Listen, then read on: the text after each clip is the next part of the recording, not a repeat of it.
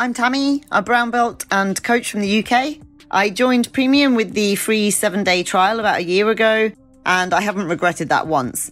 I immediately binged on some audio content. The Discord server's worth the cost of membership alone. It's uh, a bit like entering a virtual open mat full of white to black belts from various countries, and the vibe's always friendly and respectful and helpful. I highly recommend joining BJJ Mental Models Premium, and I look forward to chatting with you in their Discord server. Those are some words from Tammy. She's one of hundreds of grapplers around the world who have leveled up their jiu-jitsu game with BJJ Mental Models Premium. Join Premium today and you'll get the world's largest library of jiu-jitsu audio courses on strategy and tactics, plus direct coaching from black belt world champions, plus access to the most valuable online jiu-jitsu community. Your first week's free, so please check it out now at bjjmentalmodels.com or check the link in the show notes.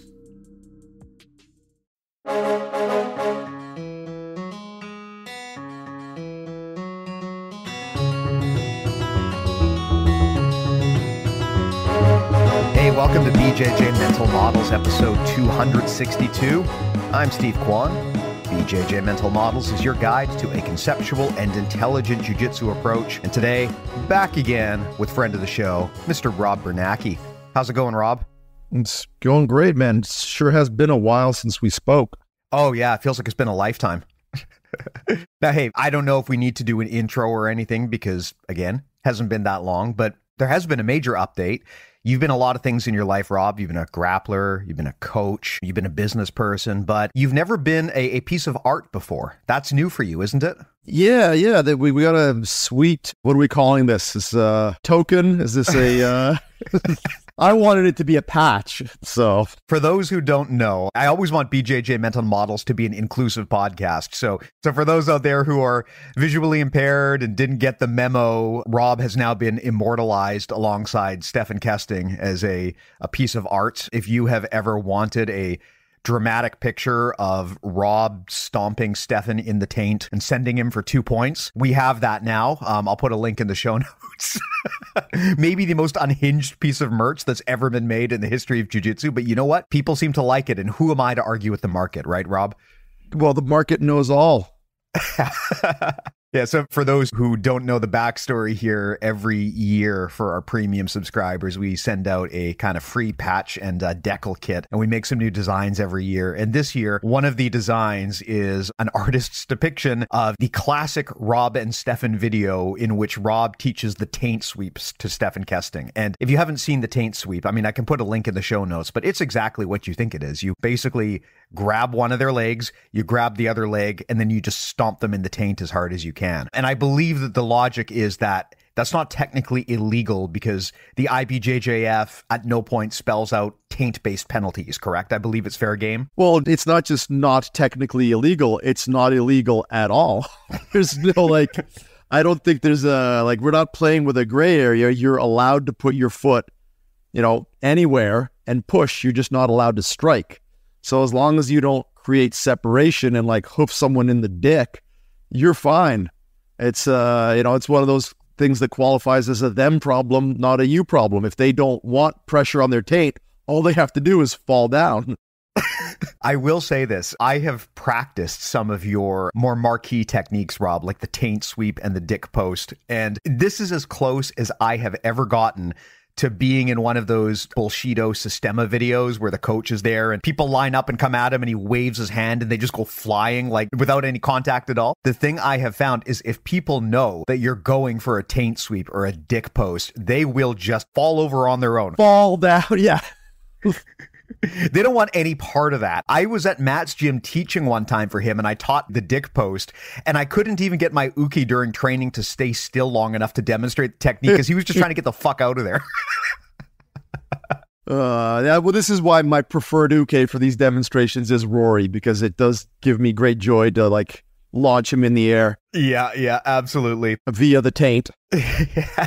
well, I you know what, just for those who missed the memo, I will put a link to this wonderful piece of art in the show notes as well as the taint sweep video for those who want to level up their taint game. But yeah, anyway, there you go. I was also saying we should probably turn this into an NFT, right? We might as well just go all the way, see if we can shake people down for some money. Well, I mean, if we, if we need at this point yet another like, you know, Darwin Award slash IQ test slash gullibility test at this point, if you're still buying an NFT from anybody, you deserve to get fleeced, so you may as well give us your money.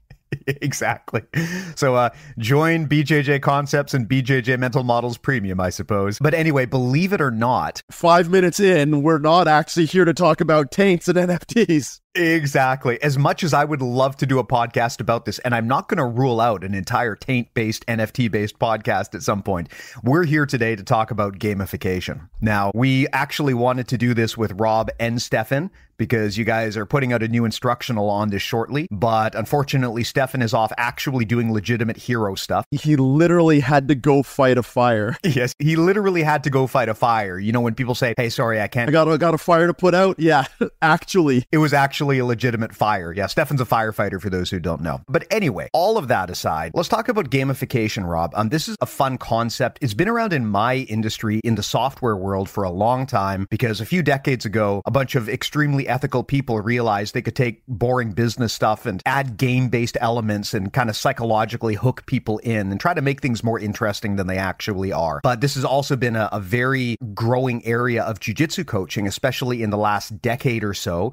I know that you've been a big advocate of this with your Fuck Your Jiu-Jitsu system for a long time. Maybe tell me a little bit about this. I mean, talk about what gamification means to you, and probably also let's explain exactly what it is and where the line is. Because when you hear people talk about other coaching methods, like um, you know, when they're talking about eco-based coaching or any of that stuff, sometimes they talk about gamification but they're actually different things. It's just sometimes this gets co opted into other systems as well. So, why don't you tell us what gamification really is and how this all came about in your system? Yeah, I mean, I'm glad you brought up the business thing and trying to make something more interesting than they actually is. Because if there's one thing I need is a gimmick to try to make me more interesting than I actually am. So that's kind of why I, I gravitate to this stuff. Um, but in all seriousness, the um, the process of gamification is we're going to probably get into the weeds a little bit because like ultimately jujitsu is just a game, right? So if we say, you know, we're gamifying jujitsu, like how do you gamify a game that's already a game, right? Like jujitsu has certainly if we're going to you know treat it as a sport, it's just got certain rules and you're allowed to do certain things, you're not allowed to do other things, and so that makes it a game. But what you'll find is when you establish the parameters of the game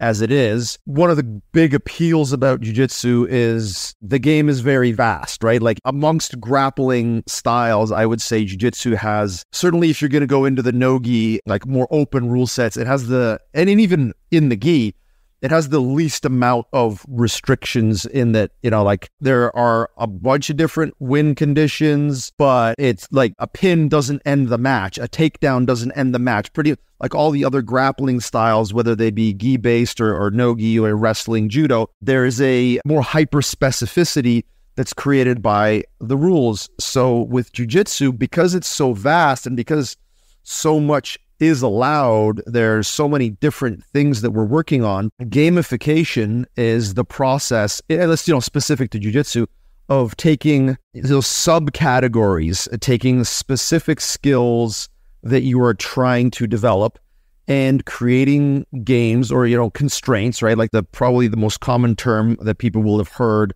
that describes this is constraints based learning. So we are trying to create a set of constraints, a game within the game that allows you to focus on skills that would otherwise be very difficult to get good at, at least get good at quickly within the more open, you know, sandbox type of environment that we've got when we're rolling for a number of reasons that we'll probably get into throughout this discussion. So, yeah, gamification is basically taking subcategories and creating really specific rules around what you can and can't do with the aim of encouraging skill development, uh, discovery, and also depending on how you do it. And then one of the ideas behind Fuck Your Jiu Jitsu is creating an, a certain imbalance so that people of varying degrees of uh, size, experience, strength, athleticism, et cetera, et cetera, can still train with each other. So, like, if you don't create the different restrictions that we create with all of the different games that we make, if you just have people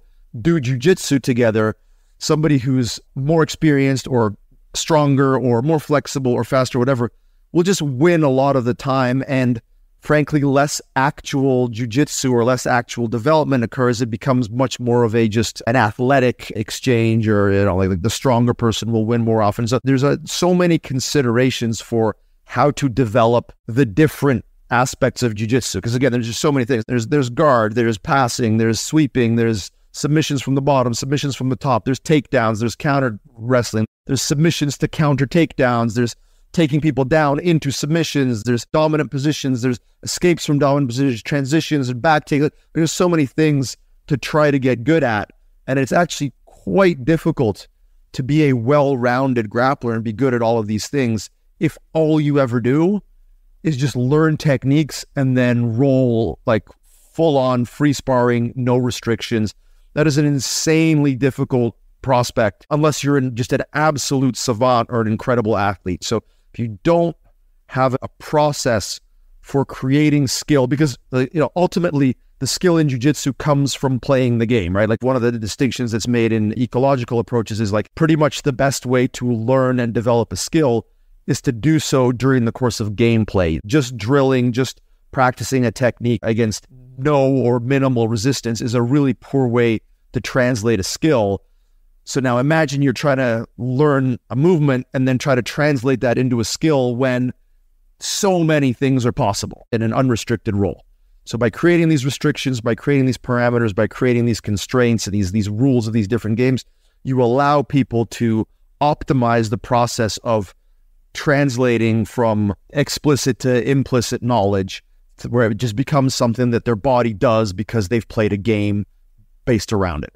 Yeah. Was that too convoluted or does that make sense? No, no, I think that was a great explanation. The challenge that often comes up when you dig into systems like this is how do you distill this down into plain speak?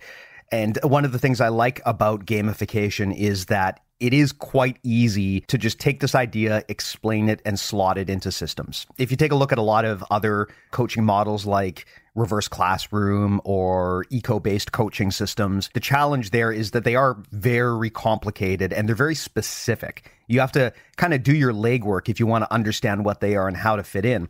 But gamification is really just about incentives and motivation and building ways to instill that in your user, so to speak. In the software world, gamification is huge. So you'll you probably have noticed if you're an old person like I am and like Rob is that you know around the beginning of the 21st century there was this big push to gamify a lot of software. And all of a sudden every software product that you use and every website you go to has little badges they're trying to reward you and they're giving you points and they're you're getting to level up and they've got a little progress bar going across the screen. These are basically psychological tricks. That's gamification in action. They're taking the kind of elements that you would often get in games and in this case they're taking things like the level up and the progression systems out of video games and they're putting them into boring shit like work software. And the idea is that if you do it right, this can keep people engaged and maybe even equally important, it can also help direct their attention to what you as the coach or the guide want people to see. Because you're right, the traditional approach, Rob, in jiu-jitsu has been kind of open field. The idea being that you learn by doing, which is true, but in the absence of any structure, if you're just free rolling, then people have a tendency to kind of gravitate towards their A game, right? They have to deliberately try to push themselves out of their comfort zone and to try new things. And not everyone's going to know how to do that or be good at doing that for themselves. So gamification can be a super powerful system for coaching. And again, like I said, one of the beautiful things about gamification is you can drop that into almost anything.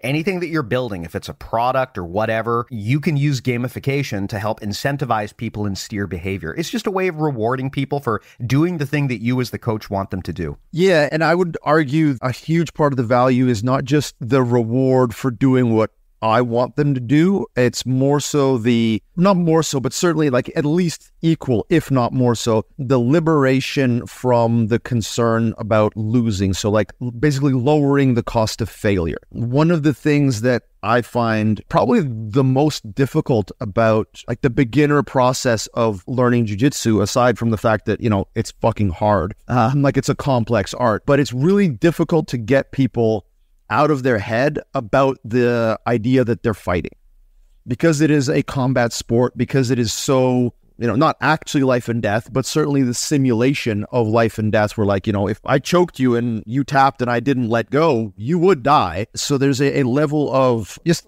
like taking it too seriously. You know, I often tell my students, like, hey, guys, we're not fighting each other, we're fighting injuries. Like, we've got a lot of phrases that we try to get people to like internalize to get them out of the mentality that this is a place you come to to fight for your life. Like it's fucking recess for adults. It's a game. Don't take it that seriously. But when people first come to it, they're like, oh shit, this is a fight. And when you're in a fight, you don't want to lose or you want to win. Again, kind of depending on which side of it you come at from, but it doesn't really matter whether it's you just want to win or you just don't want to lose. They're both equally detrimental in that you are, like you said earlier, you're going to go with your A game. And if you don't have an A game as a beginner, what are you going to do? You're going to spaz like a motherfucker. Like I actually had a guy come in for an intro session last week and I explained how like, you know, flailing about is not beneficial. And he's like, but wouldn't it be beneficial if I just really wanted to win? And I just straight up stopped him and said, I'm going to be honest with you. If, if you're really concerned about winning and training, this is not the gym for you. And that dude never came back for a second session. And I was glad about that because he was so like, all his questions were very evidently based around he was trying to figure out a way to win. And that was his main concern. And to me, that's just a guy who is not going to belong here because he's a threat to himself and others. If all he's trying to do is figure out the best way to win in class, like in practice, it's like that Allen Iverson clip that I always reference. Like, we talking about practice? You trying to win practice, motherfucker? Get out of my club right? So the biggest detriment to people's progress when they're trying to learn jujitsu, especially at the beginning, is they feel like they need to fight for their life, which means they're only ever going to do the thing they're good at, or they're only ever going to do the thing that expresses the most intensity so they can not get beat or so they can try to win. And that's a absolutely terrible way to develop new skills. So by creating games that yes incentivize certain behaviors, but more so disincentivize the emphasis on I'm definitely trying to win or I'm definitely trying to not lose. What we can incentivize for people with these little mini games that we do is we're incentivizing you to embrace the process of learning by embracing the process of playing the game. So one of the phrases we use a lot at our club when we do some of these some of the gamification stuff is don't worry about winning the game, worry about playing the game. We want you to try to get good at playing the game because that's where the skill development comes from. And with a lot of the games, if we're able to take the notion of winning and losing out of it, that sets a different playing field for people where they're not worried about being super tense and not allowing anything to happen. Because that's the worst thing. You know, you're trying to get good at jujitsu, and most people try to get good at jujitsu by trying to allow the least amount of jujitsu to happen during a roll. It's like two white belts in closed guard for five minutes. Fucking nothing happens. You know, two white belts in half guard locked together, not doing anything for five minutes. No jujitsu is actually occurring there. So there's a lot of stuff that you can do to incentivize people, yes, to like pursue certain goals for a win. And when we certainly do that, like we've got gamification that we do at the club that is based around try to hit this goal because you want to win but we also have a lot of stuff that's based around try to reduce your desire to win and try to just enjoy the process of playing the game. Yeah, you bring up some amazing points there. I think for most people out there who have been training for a while, they may have lost touch with how scary and intimidating jujitsu is for a first timer. I encourage people to think back to try to remember what it was like the first time they stepped on the mats and how terrified they were, especially if they're someone who never really did anything athletic before in their life, right? It can be very, very scary. It can put you on the defensive, and that's not good for learning. That's also not good as a business owner because you don't want to set that kind of culture where people are afraid of your gym, right? A big part of doing this well as a coach is making your gym feel welcoming, inclusive, and setting a culture of play and of fun.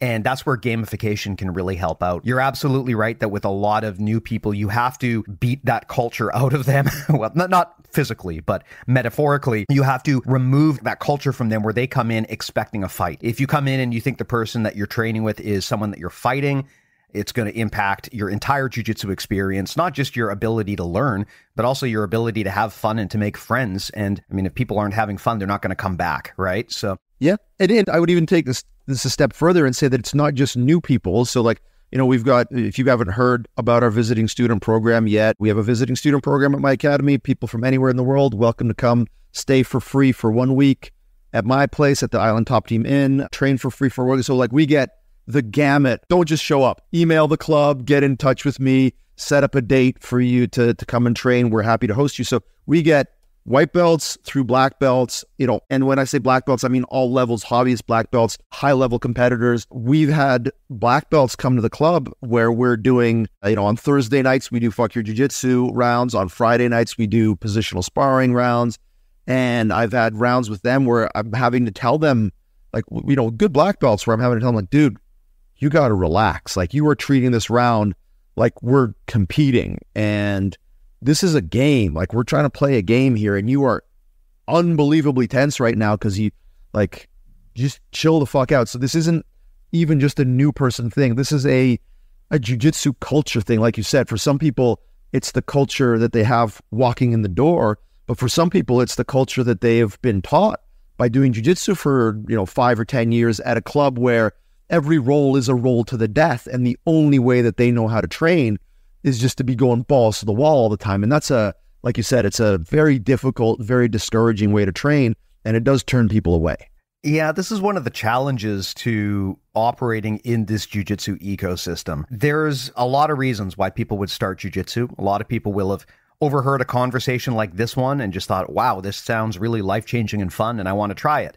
There's people who want to learn self defense. There's people who maybe lived through a very traumatic experience and they don't ever want to live through it again. And so they want tools to prevent that. But then you're also going to get people who come to jujitsu for ego gratification because they want to dominate people or they want to be perceived as the kind of person who can dominate people. And none of that is conducive to good learning, to good culture. You know, when we talk about the some of the awful shit that can happen in jujitsu, a lot of the time it's because of people like this. And one of the benefits of gamification is in addition to helping the coach focus the training and make things fun, it's a lever that you as the coach can manipulate to alter the culture of the gym.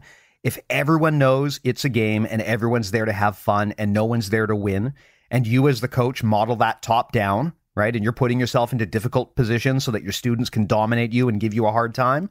If that's the culture of your gym, you're going to attract the type of people that you probably want to attract as customers, not the type of people who are going to come in and ask how they can dominate the other white belts, right? So I think that's a great point. So with that said, Rob, I mean, we've talked about gamification before. You've been on the podcast to talk about fuck your jujitsu, which is, and again, I, I love how you describe it this as this, your proprietary system for gamification in jujitsu. I love that description because it implies that you've got a patent on this and you're going to sue people if they use the name. well, so, I mean, we say proprietary proprietary. I mean, for one, I want people using the name. Like one thing that I really love is, uh, you know, I, and this is the only time I'm ever going to say that I love anything about Instagram. But like when people tag me in a story where they're like, "Hey, we're doing fuck your jujitsu tonight," and you know, I can reshare that. I really love that. So it's not even about proprietary for the purposes of suing people. It's more just that like if, if anybody's going to talk about fuck your jujitsu, I want to be tagged, I want to be included, and I want to try to spread this notion around the world. As I joke, I want everybody out there doing lots of fucking because it's kind of the most fun way to do this stuff. And So yeah, it's and I mean, you know, proprietary in the sense that I am quite confident that I came up with this particular approach to gamification and I want to share it with everybody. Nice, nice. Now, for those who who missed that episode, I'll put a link in the show notes again because we had a really detailed talk about the nuts and bolts of of your fuck your jujitsu system. But part of the reason you're here today is because I believe you and Stephan are working on a new instructional. Now, unfortunately, Stephan can't be here. He's too busy doing hero shit to hang out with us, which is totally fair. But maybe you can help me explain what is it that you've packaged together here? You know, this is going to be a very valuable resource for people who want a very easy to understand primer into how both a coach can build games for the students, but presumably how students can also build games for themselves. So maybe talk to me a little bit about how you've got this structured and what you're putting together. Yeah, so that's a really good point that you made about it being both a, a resource for coaches and also a resource for students. So, like, one of the main things that we get when visitors come here is they want to, or you know, they'll ask me like, how can I take whatever you know I'm learning here and be able to bring it back to my gym? And the answer, or like, what should I take back to my gym, or you know, questions of that sort. And the invariably the biggest value add I can give people is to teach them how to play these games, how to do fuck your jiu-jitsu rounds, how to do gamified rounds, and how to do specific positional sparring rounds, which are all categories of uh, gamification that we use at my academy. So I've had coaches bring me out, and I was recently at um, at Fulcrum Jiu Jitsu in Colorado, showing them like teaching a seminar on how to do fuck your jiu jitsu rounds. And it was actually one of the most well received seminars that I've ever done.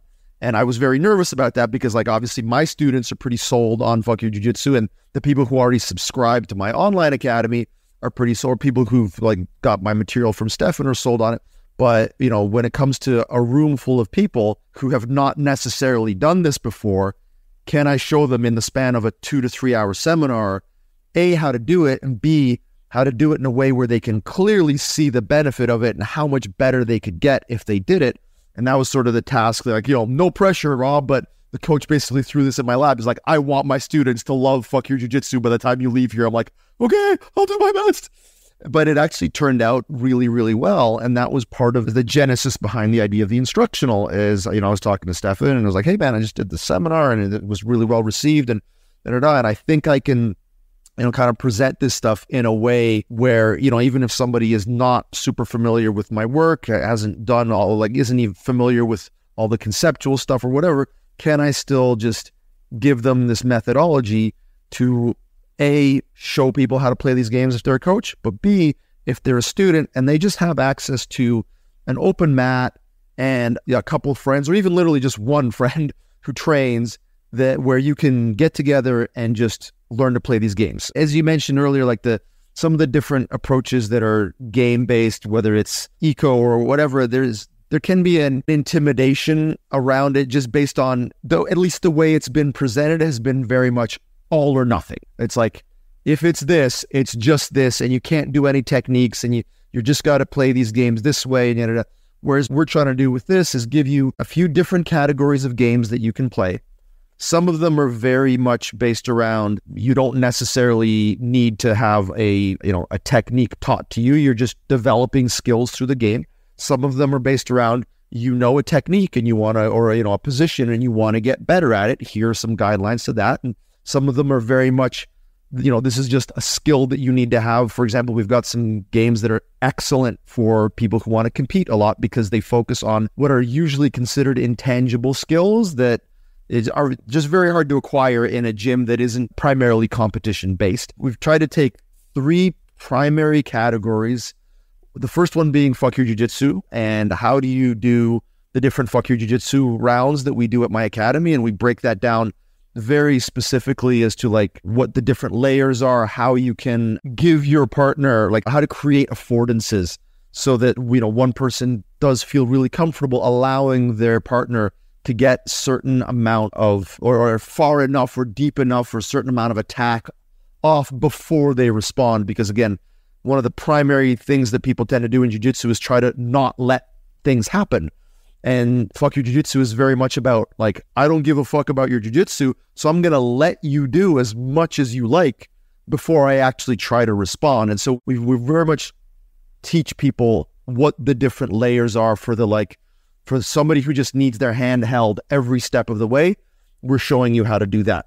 And then we've got more of the like mini games that we play that are based around, which would be probably the closest to the like the the eco type approach, where it's just like we're trying to force you to develop this skill. So we're going to set these constraints. We're going to set a what are the goals or the tasks for one person? What are the goals of the tasks for the other person? What is the win condition? And then you can go at it with actually like a fair bit of intensity because the level of intensity that you bring to some of these games has to change dramatically based on the game and what you're trying to achieve. So the fuck your jiu-jitsu can be done with a very low level of intensity all the way up to a fairly high level of intensity depending on the skill level of both participants.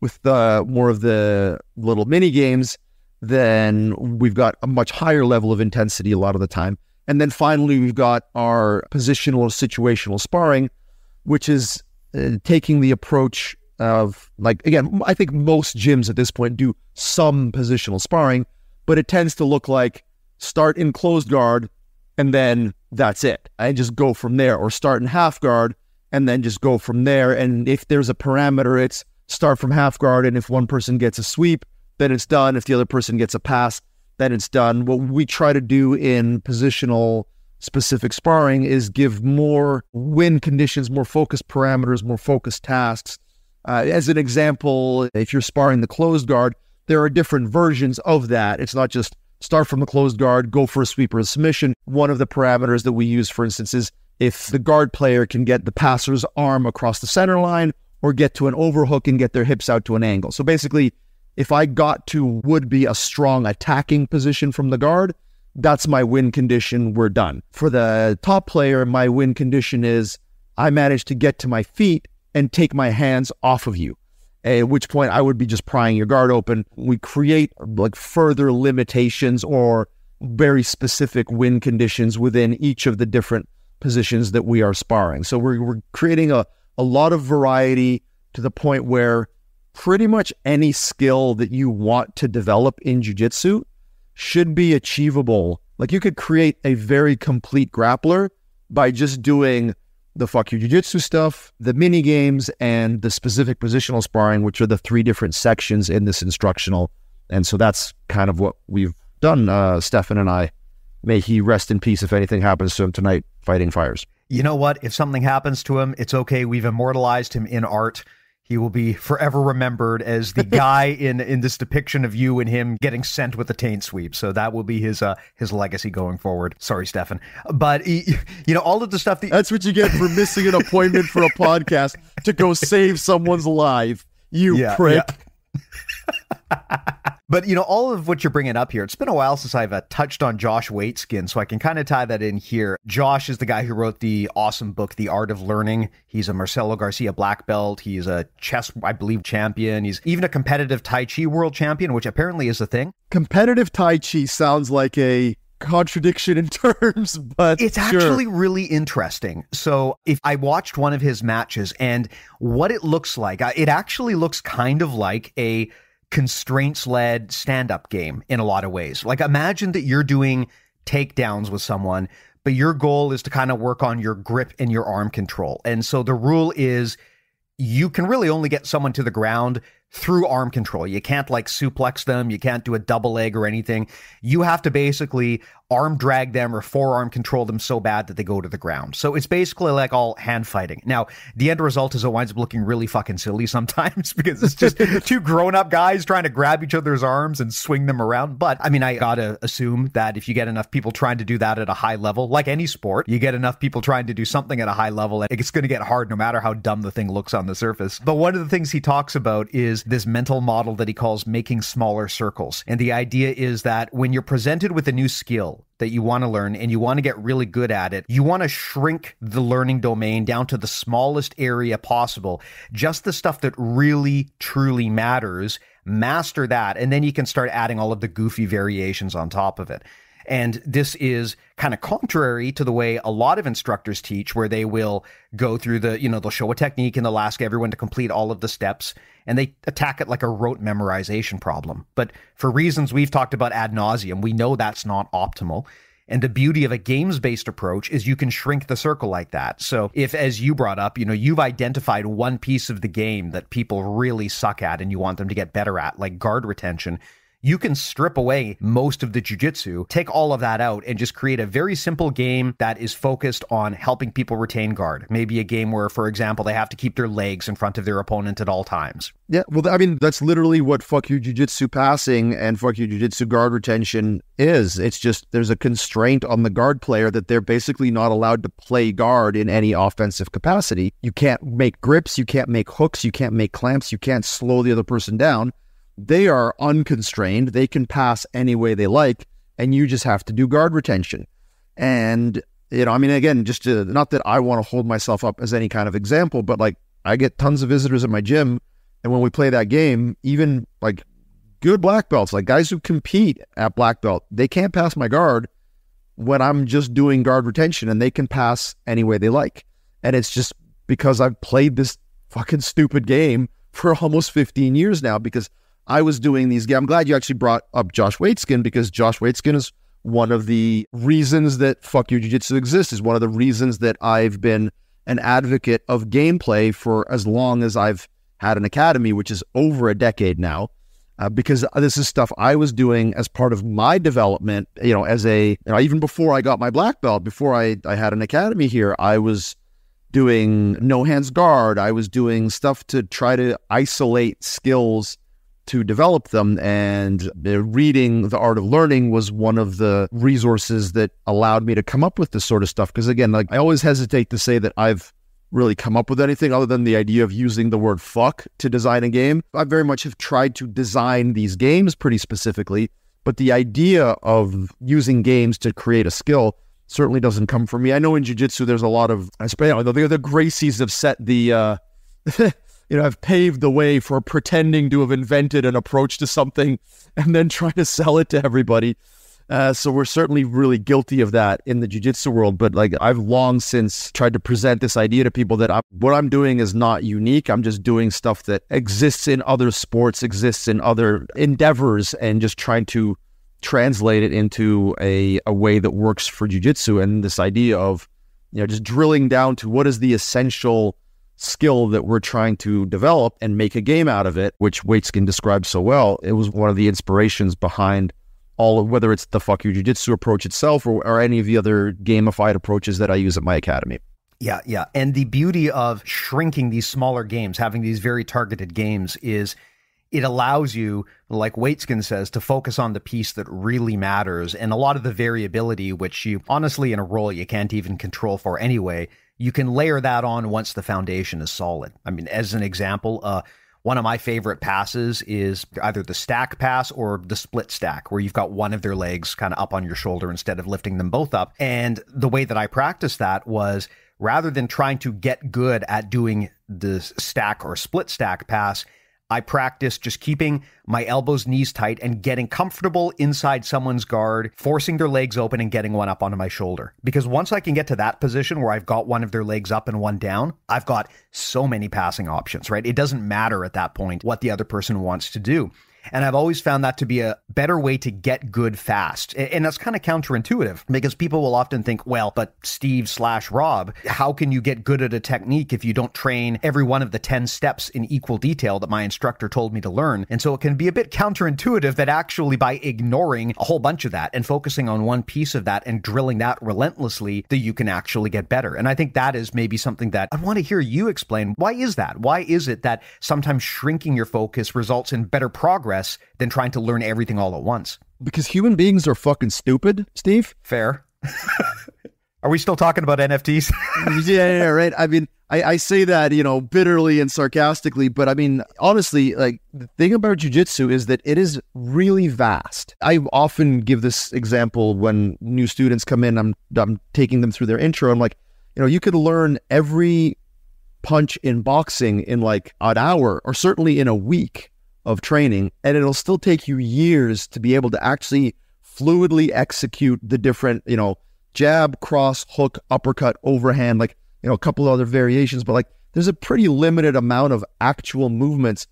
But once you start layering them together, the the combinations, they're still quite exponential, right? Like now imagine jujitsu, where there are thousands of potential techniques. Like there is just no way the average fucking moron is going to just memorize all that stuff. So like I to me it's like I would say it's anybody that's experienced life on earth with other human beings should know that it's self-evident that somebody trying to just like memorize all this crap is never going to get all that good at it because while you're trying to memorize one thing over here, if you've got a limited uh, brain capacity, it's pushing other information out on the other side. So like you start memorizing this stuff, you stop getting good at this other stuff. So having this like try to have this incredible random access memory, it's not the purview of most individuals, of most brains and how they work. Sure, there are people out there like Musumeci or Kyotera who legitimately do seem to just like be able to memorize thousands of techniques and be able to access them live, which is unbelievable. But the majority of people just can't do that. And so the way that you're going to learn better is to learn movement patterns and learn skill sets. So you don't have to be able to do a thousand moves that you're trying to memorize. What you have to be able to do is keep your base. Don't allow your elbows to get away from your body. Pin one of your partner's legs to the mat so that their hips are immobilized. Recover your posture when somebody grabs your head break people's posture so that when you go to do something to them, their spine isn't working quite right. Like there is, you know, keep have good balance when someone picks up one of your legs. There are skills, you know, have the ability to pick somebody up when they don't want you to. Have the ability to pin someone to the ground when they're trying to get up. These kinds of things. So there are skills that you can just, you know, develop by playing these games that you would just absolutely not be able to develop by memorizing a bunch of techniques. Just think the vastness of jujitsu makes it pretty self evident that you can't learn it by rote memorization. You have to just get in there, mix it up, have an idea of what your goals are. And that's why I think concept is so important because if you don't really understand conceptually what's going on, it doesn't matter how many games you play because if the tasks are so just specific to the game, then you don't really understand what you're trying to get at overall. But I mean, that's uh, maybe a topic for another day. But as long as you have an understanding of what the like the basic physics and body mechanics of jujitsu are and why these goals exist, creating gameplay around it is just so much more likely to enable people to develop the actual skill because skills are acquired for the most part easier and better through gameplay. Certain skills definitely like there's certain things that you just you have to have somebody teach you. You have to have somebody explain to you the step by step method of doing it before you could ever actually like be able to have the skill when you're actually playing the game or when you're actually rolling because some things are just that unintuitive, that complex that if someone didn't show them to you, you wouldn't just arrive there on your own and you wouldn't just arrive there because of some clever constraints. So there's like, I'm certainly not trying to suggest that everything can and should be learned by just games and constraints. But once you kind of have an idea of what the goals are, definitely the best way to get good at it is by creating a game where there is live resistance and you have to do problem solving. Like we as human beings, like that's how we learn. We learn through problem solving, through solving puzzles, through you know having a certain optimal level of difficulty. Even if you want to go back to like the the programming world or video games, there is a an optimal, I think, I think some places call it the optimal state of arousal, which has sadly nothing to do with pornography.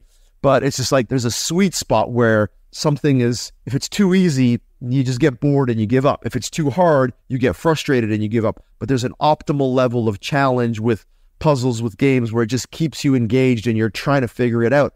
And that's when our brains are the most active and the most rewarded. And that's what we're going for with this. It's just the, it's the most effective way for a human being to get good at a thing.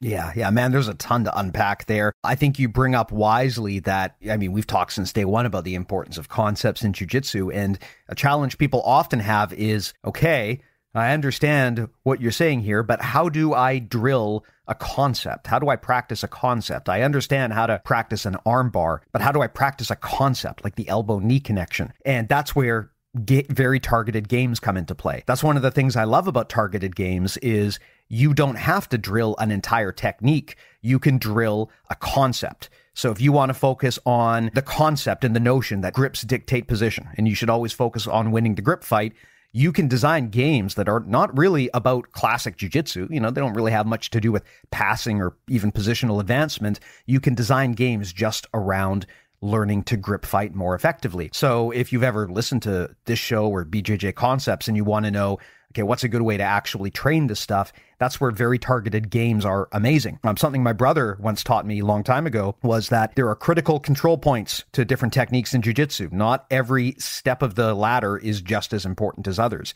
Some things only happen once in a while. You know, so much of jujitsu is dependent on your opponent and what their body type is and what they do. But there's other things that are always going to matter, other details that are almost always going to be something you want to make sure you get done. And understanding that, understanding that there is a core to each technique that you really need to nail. And usually that's going to line up with the concepts. If you can focus on training that, then a lot of the auxiliary details don't matter so much. I mean, if you can build a game, for example, where you get through or around a person's legs and you pin their shoulders, the actual details of a guard pass become much less relevant because you're going to figure it out on the fly. And not only that, when you talk about the targeting and the, say the critical control points, one of the things that I have found, I hesitate to use myself as an example, but I also think I'm a good example in the sense that, you know, A, I'm old and I'm not a good athlete. and I'm not particularly strong. And the amount of time that I have in training relative to and especially competing relative to a lot of the people that I train with, and a, the, certainly the vast majority of people that I compete against, is fairly minimal, right? Like I'm a guy who rolls three times a week, who came to uh, you know jujitsu more roundabout way, didn't have a lot of gi training when I got my black belt. They're, they're like I've got a lot going against me, and when I train with you know again black belts that are visiting my school, people whose schools I visit, yada, yada, yada. One of the things that I notice is, for example, if we're going to just have a roll, there are black belts that visit my club and we'll have a roll and it'll be a, you know, a fairly competitive roll. And then we'll have another roll and it'll be not competitive at all. And the person will ask me afterwards, like, what's the difference? Why did, how come in that one roll, like it was pretty close. And then in that other roll, you just kicked the shit out of me. I'm like, well, in the first roll, I was just like allowing you to get to the positions. I wasn't like giving you a ton of resistance. I wasn't trying to focus on negating your game. In the next roll, I played the engagement phase game with you. And they're like, well, what's that? Well, that is the game where before either of us have grips, there's an exchange that's going to be had. We're going to engage, and either I'm going to win the grip fight and I'm going to get to a passing position if I'm the top player, or I'm going to win the grip fight and I'm going to get to a guard if I'm the bottom player. And the winner of that engagement phase dictates the next phase.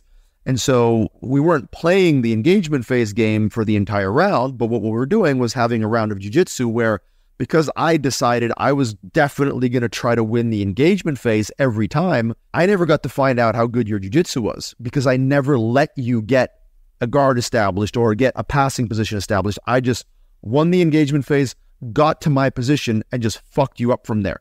And like if you're a good black belt and I let you put me in X guard, I can't just fuck you up. I'm not that good. I'm 47. I'm uh, you know a pretty decent black belt, but I'm not fucking you know adult black belt world champion. I'm not uh, super good. You know elite level. You know world class kind of grappler. I'm just pretty good, but I'm good enough that if I can bypass your strengths, even if you're a black belt, I will absolutely fuck you up.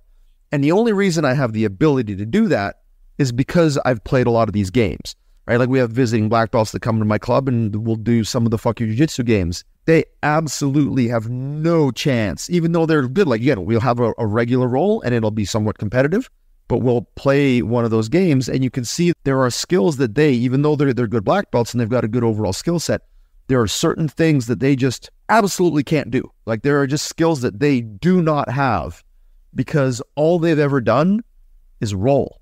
And so the amount of reps that they have on completing a sweep against somebody who has good base and is actively trying to resist that sweep are minimal. Whereas I've got tons of rounds of people trying to absolutely not let me sweep them at the last stage. One of those being Rory, a fucking six foot six scarecrow who used to skateboard, so has unreal like base and proprioception and ability to recover from really deep sweep positions. If I can put Rory's ass down, I can put just about anybody down that I'm going to play that game with. Whereas when they try to sweep me, I can give them 90% of what they need and they still will never, ever, ever complete a sweep on me. We can play fuck you jiu-jitsu top control where because they've only ever tried to pin people with a crossface and underhook and heavy chest to chest pressure, when you take those tools away from them and it's like, you got to hold me down just using levers or frames and wedges, but you can't put your chest on my chest, they can't hold me there for 10 seconds. Whereas I can hold them almost indefinitely. And again, if you don't have these games, there's absolutely no way you could develop these skills. So I think I'm a really good example of how you can achieve good competitive success and just good overall success in jiu-jitsu by focusing on these really specific things, even if you don't have A, a lot of athleticism, B, the recovery time that comes with being young or taking steroids and being able to train six days a week and two times a day and all that. I have a limited amount of time training and I have a limited amount of like physical resources, yet I'm still able to be much more effective than I frankly should be. And I ascribe that half to the conceptual approach or maybe 30% to the conceptual approach and probably as much as, you know, 50, 60, 70% to the fact that I play a lot of these games so I have a much more diverse skill set where I can be skillful in so many more areas than somebody who just only ever rolls, even if they are very, very good from just rolling. Yeah, that's a great point. There's a whole element of strategy involving shutting your opponent down. I mean, I've heard this described as anti jujitsu, or Josh Wentworth from Georgia calls it negative jujitsu. And the idea being a lot of the time, we call it shobbing at my academy. well, the idea being a lot of the time, it's easier to stop your opponent from doing what they want to do than it is to do what you want to do. And I mean, look, there's very successful grapplers and cage fighters who have built a whole style around negative grappling and negative fighting, where a big part of what they do is just try to shut the other person down. Yeah, shut your game down, bro. I got to shut your game down. Yeah, yeah. I mean, if you're going into a competitive environment, it's not a bad strategy at all. But when you're in the lab or, you know, you're trying to learn, and just sorry to cut you off, but to be fair, we also do games like that where because you know one of the things that people who don't compete very much fall prey to is they want to play too much. I know Joseph Chen talked about this very recently. I saw him speaking about how like because he's so like I'm glad he he gave us a bit of a shout out where because he came up originally at a school Guillaume's Academy Nanjing BJJ where he was introduced to fuck your jiu-jitsu and it was apparently quite formative in his approach to learning. You know, he was willing to engage and play and and kind of would because he had developed such a diverse skill set that he could allow his opponents to get to certain spots on him, and he would always just have the answer. But then he found that that was running out at the you know at the peak. You know when you get a real specialist, you know you get a guy who's crazy good at the legs like a Mateusz Szczecinski.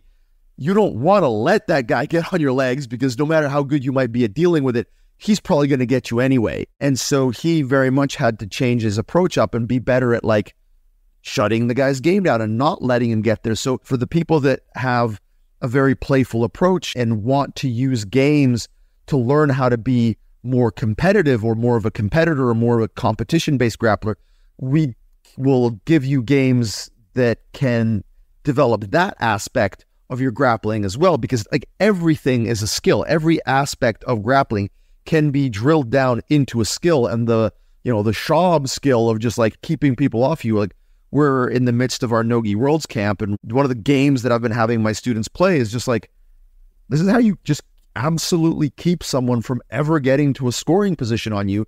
And if it comes down to it in a match and you're up and you need to eat out, like eat up the clock, if you don't have the skill to beat them by passing their guard at that point and you're up, at least keep them from getting to a position where they can sweep uh, or threaten a sweep or a submission on you. That has validity. It's not my favorite. It's one of the last things I ever want to do but you can turn any goal into a game that allows you to meet that goal. That's one of the best things about gamification is the sheer versatility. You know, if you look at a lot of other coaching systems, when you start asking questions about, okay, how do I apply this in this context or th- this other context, it doesn't really fit well. Whereas you can gamify basically anything. Like in this case, if someone is so into gamification that it results in them being too playful, you can gamify competitive behavior as well, right? To steer them back in that other direction. And I can relate to that. I mean, I've always had a very playful, almost troll based jujitsu style where I just do weird, dumb shit to see if it can work. And the problem is it gets so fun that sometimes my actual core jujitsu atrophies because I just don't do it enough. And the beauty of games is if you can identify those things, then you can direct your training in any way. You can focus on developing new skills. You can focus on shutting your opponent down. You can focus on whatever you want. However, the one thing that gamification does need is that conscious understanding of okay, what's the thing I really need to actually work on here? And this might be where some people kind of find it hard to apply this because you have to actually think about it, right? If I want to drill an armbar and learn to get good at an armbar, I can watch a bunch of very detailed step by step instructionals and just copy them. But if I want to build a game that's actually going to improve something about me, that requires me to have really clear awareness of what my weaknesses are and how I need to fix those. And then I can design my game around that. Do you have any thoughts on that? You know, for really, for anyone, both coaches or just students, how do you identify what kind of game would be best for you and build games that are going to be most productive? This is where, again, like so much of the gamification stuff for me has been so like, like that's never been an issue for me. Like the core problem. And by the way, before I forget to drop this Simpsons reference, when you said like the solution to too much gamification is just a different game. It's like the you know, the prohibition episode is like to alcohol, the cause of and solution to all our problems. Like games, the cause of and solution to all our problems in jiu-jitsu. For me, earlier on, the idea of identifying weaknesses and trying to remedy them was never an issue because I very much view this as a, a process of discovery. Like when I say view this, I mean learning jujitsu, trying to be good at jujitsu. I view this as a process of discovery. I want to be good at it. I want to solve all the puzzles. I the puzzle is the thing for me. This is not an endeavor where I'm trying to just win competitions or just be able to beat people. I have always been about the game of jujitsu Whereas I've found that a lot of people, as you mentioned, people who are coming to this more for ego gratification reasons or not even ego gratification reasons, but like you said, self defense or like, you know, MMA. Like I find MMA fighters to be some of the absolute worst people to train.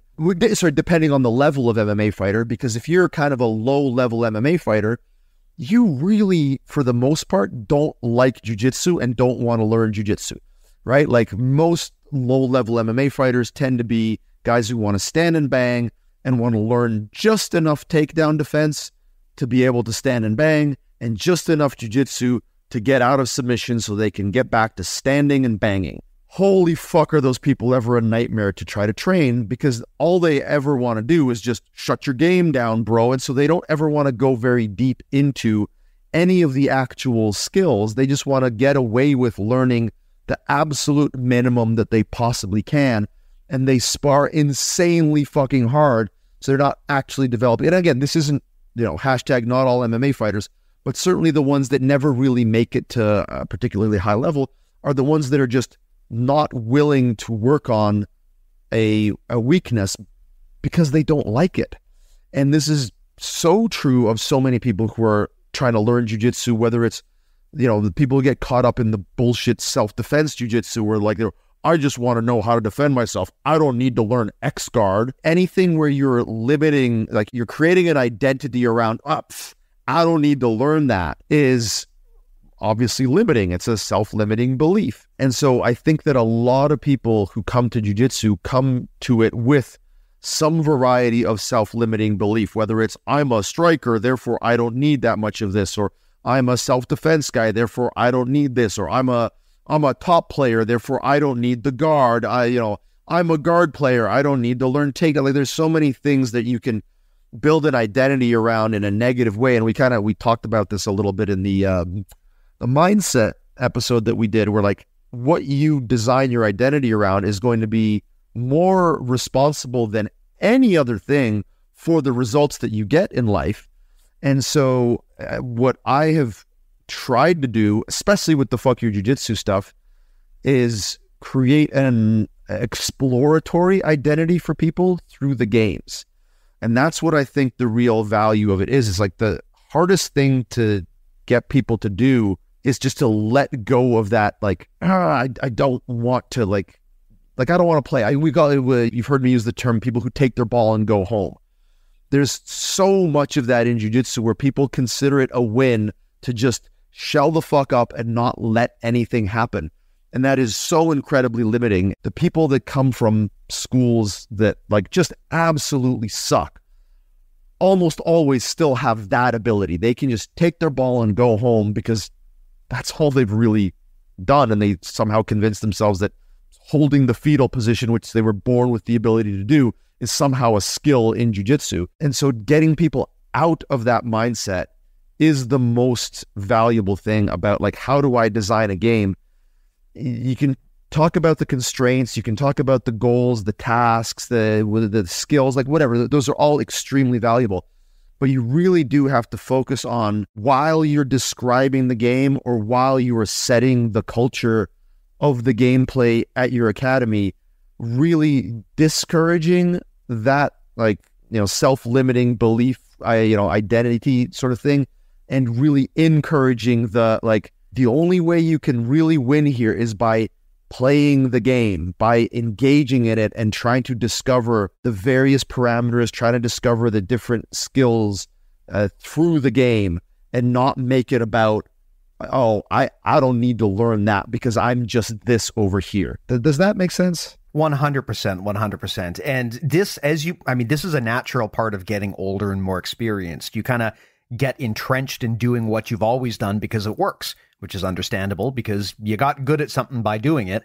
And the problem is, though, as you get better at one thing, it can make it harder for you to dial back and become a beginner again at something new. It is hard to do when you've got these tools in your toolkit that work very well. What's my motivation to go and try some new skill I'm not good at? But the problem is, like you said, this and just the labels that you apply to yourself can be extremely self limiting because, like you brought up in that example with Joseph Chen, I mean, eventually you're going to find that person where your A game just doesn't work and you better have a plan B at that point. And you know, and there's also just something to be said about being a well-diversified human being. I mean, in the prior episode to this one, I interviewed Victor Hugo, and out of all of the things that this guy wanted to talk about, he wanted to talk about the intersection of business jujitsu and how to balance them. And he talked about how being a diverse human has added so much value to his life and made him both a better competitor and business person. I can actually vouch for that as well because I have been for the majority of my life a very person that lacked diversity. I was very you know, autistically mono focused on how can I learn this one skill as much as possible. And I've found that as I've become more diverse as an individual, which I've had to make a conscious effort to do, because it's not something that appeals to me. I very the appeal for me is in like super deep dive into one thing. And as I've become more diverse as a person and more diverse as a business owner, like like you know, I recently acquired the unit next door to my academy, so I'm temporarily a landlord, which I never thought I would become. And like the skill of communicating with the people that are now my tenants and all that, like this is a different skill that I have to work on. One of the reasons I have the visiting student program is so that I can become more effective at communicating with people socially outside of the realm of jiu-jitsu. And as i've managed to invest more in those kind of diverse skills as a human being i found that this year more so than any other my club has grown dramatically. The business has succeeded that much more than it ever has before not because I've become better as an instructor, because I think at this point I'm into the uh, diminishing returns on any improvement that I make as an instructor already far and away better than anyone else in the area that somebody might come to for jujitsu training. So me being any better as a coach or instructor isn't going to make any difference in terms of uh, gaining new students, but just being able to create a different atmosphere at my club and relate to people on a human level better as an individual, I think is what's responsible for increased success in business. So I think that's a wonderful point that you brought up, or that, that Victor brought up, is that a little bit more diversity allows for so much better problem solving across the board. Yeah, there's actually an area of science that explores this. I mean, I am not super well versed in this, so please don't take this as gospel, but sometimes it's called transfer of learning. And the idea being that you can learn tangential, possibly even unrelated skills and it can give you a different perspective that allows your different areas of knowledge to cross pollinate and inform each other. Um, interestingly, they've even experimented with doing this with AI. Uh, it's an area called transfer learning, and even machines can learn that way too to some extent. I mean, again, please don't take this as some sort of definitive statement. Not an expert here, but I do find it interesting that there's a lot of people looking into just how sometimes looking into unrelated skills or tangential skills can make you better at the thing you were actually trying to get better at in the first place. And that's one of the areas where games is are really great because they encourage you to branch out and try new things in a in a non-intimidating way. If I go into a role, and I've had coaches do this where they say, and this is their idea of creating constraints. They'll say something like, okay, we're going to spar, but we want to work on triangles today. So the only submission you're allowed to do is a triangle. All that's going to result in people really doing is just shutting down each other's triangles because triangles, they know, yeah, exactly. they yeah. know exactly what's coming and no one's going to feel good coming out of that. It's just, just going to lead to deadlock jiu-jitsu. But if you create a game that's smaller and narrower and it's very clearly advertised as a game, you change the culture, you change the tone around it, and you also make things a lot more measurable because it's very hard to just show up one day and be bad at triangles and then leave and now suddenly you're awesome at triangles. It's hard to measure progress like that. But for a specific game, like if, for example, you're on top of me and my goal is to maintain an elbow knee connection the whole time, to never let you get that inside rib hip space on me, that's a very easy game to measure. I can do that, no problem. I don't need to be a technical expert to practice that. And when I go home, I have a pretty good idea of how I performed, and that helps me do better next time and make adjustments. So I think there's just so much freedom and power in thinking of things as, as games. And again, not even just in jujitsu, but just life in general. And just to touch on the, the the triangle thing, so one of the in one of the sections of the instructional, we talk about how we spar certain positions. So like when we spar the triangle, one of the games is you start in a threatened triangle, but you're not allowed to finish the triangle. So all you ever eh, like you spend the entire round, and we do the similar thing with the armbar. You start in the armbar position, but you're not allowed to actually get the tap from the armbar. You can tap them with other submissions.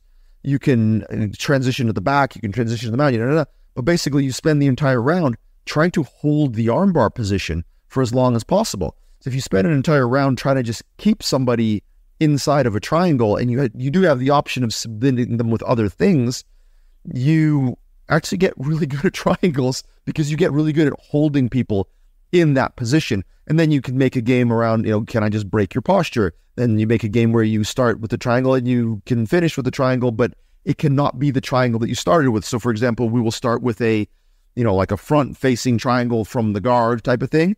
And you can finish with any other triangle. So you can rotate around the axis of your partner's neck and finish with different side or back triangles but you can't finish with a front facing triangle, which again makes you a lot better at triangles because if you ever get your initial triangle shut down, you know immediately that you can just rotate around that axis. So there are still, even within the context of like, hey, let's just spar the triangle, there are ways that you can design games that will still yield a really fantastic learning curve within that position. Yeah, yeah, absolutely. And I think the other beauty, and we've talked about this before on the podcast, the other beauty about games is they can be very helpful in asymmetric training environments. So a lot of the time people are very worried about the quality of their training partners and hey, you know, if I'm a black belt, what am I going to get out of training with a bunch of white belts and blue belts? I mean, the answer is if you've got good games in place, you can get a lot out of training with them.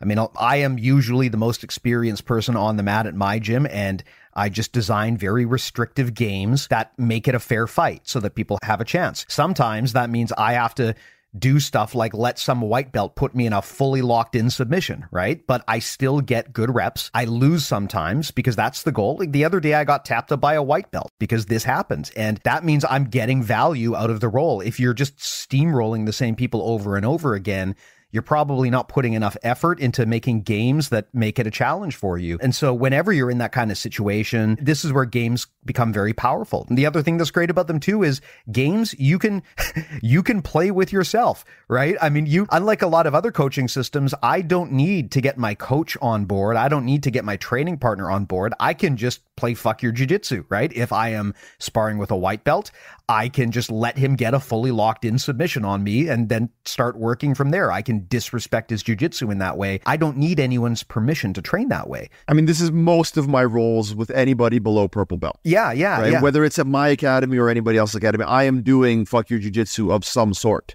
Yeah, uh, I am working on specific skills of some sort. And it, but it's it's funny that you mentioned the playing with yourself because I, if he changes the title on me, I'm gonna be pissed because one of the things that I'm trying to insist on is the title of this instructional should be quit playing with yourself. yeah, how to use games like fuck your jujitsu, et cetera, et cetera, to, you know, get better at jujitsu or get, you know, play with others, whatever. I definitely want the playing with yourself as, as part of this thing. Well, it's a valid point though that there is a lot of utility in being able to direct your training on your own. The big problem that people bring to my attention all the time is they'll say, Steve, these ideas that you talk about on podcasts, these modern coaching methods, they sound fantastic.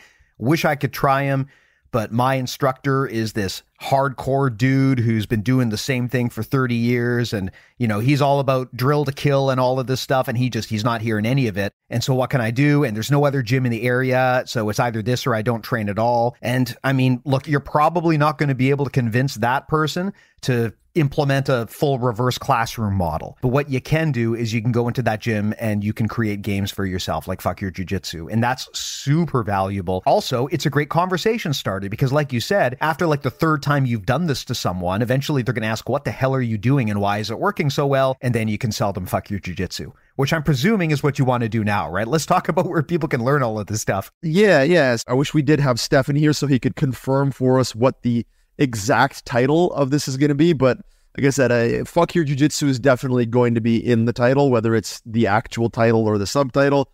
And I'm hoping that quit playing with yourself or some variation of that is going to be the main title. But either way, it will be, you know, the the game of the the fuck your jujitsu gamification or gamification and fuck your jujitsu positional sparring, whatever instructional from uh, grapplearts.com. And it's hopefully fingers crossed here, going to be released um, like mid December to late December. Nice. So this episode might come out around that time, maybe even a little bit before. So what I will do is I'll put those links in the show notes. I'll put a link to Grapple Art so everyone can go there. I am sure that when this is released, it'll be easy to find on the website. So Stephan Kesting's website, grapplearts.com is where this is going to live. Again, link in the show notes. But if people want something right now, Rob, we got to talk about BJJ concepts. Give it the plug. Come on, tell me about it. We've got an entire section on the site uh, for how to do fuck your jiu-jitsu. We've got mini games. Like a lot of my gamification stuff is also available. It's just this instructional is like, you know, if you need a resource for like how do I play games of any sort, some examples of some games, how can I design them, etc this is going to be your jam. But yeah, so bjjconcepts.com or .net, both will take you to my website if you want to sign up for that. We've got some great gamification stuff on there. Plus, obviously, all of our core concepts, our 101 and 201 curriculum. There are, gosh, probably around 3,000 lessons on the site at this point. It's got to be one of the bigger resources out there. And it's certainly the only resource that I know of that has a pedagogy section that teaches you how to teach, how to be a good instructor, whether it's for group classes, private classes, seminars, how to coach at tournaments, how to uh, run your business, all that kind of stuff. We've got a pretty good resource on there. So if you're less interested in the games and more interested in the concepts and an actual curriculum, we've got that as well. Awesome. And if people want to shoot you messages and ask you questions or buy your NFT, where can they reach out to you? I am on Instagram for the time being until I can find somebody to uh, until there's an AI that can reliably replicate my inimitable style. I am actually the person that you are talking to. If you message me on Instagram at Island Top Team, you can certainly get in touch with my academy info at islandtopteam.com if you wanted to schedule a visit or you know have me out for a seminar or anything like that. Yeah, you can hit me up through either of those sources. Amazing. Well, thanks, man. As always, I'll put those links in the show notes.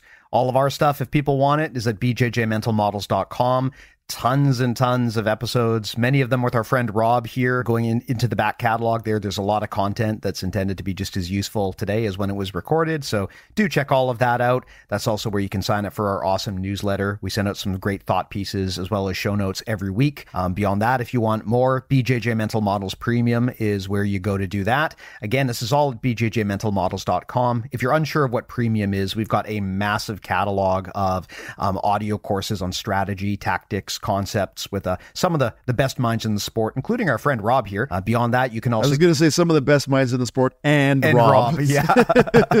uh, and beyond that, of course, that's where you can also get direct coaching from our review team. We've got some amazing coaches on there. Uh, recently, we added uh, Josh McKinney of designated winner fame. Existing coaches include um, Emily Kwok, Dominyka Obelenyte, Brianna Ste-Marie, Marco Ciccarelli. So, really awesome roster there. If you want to get direct one on one coaching from them, I just I defy you to find a better price for that than what we offer on BJJ Mental Models Premium. So, again, everything's at bjjmentalmodels.com. I'll put a link to that and to all of Rob's stuff in the show notes. But, Rob, thanks a lot, man. Great chat. Glad we were able to make this happen. Hope uh, Stephan saved the cats and uh, put out the fire and did all of that other good stuff as well.